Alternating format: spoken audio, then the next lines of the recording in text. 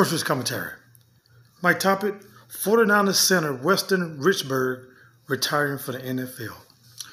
Okay, he's only 25, 29 years old. Uh, he had a lot of injuries, and that's uh, that's one of the main reasons he's retiring due to injuries.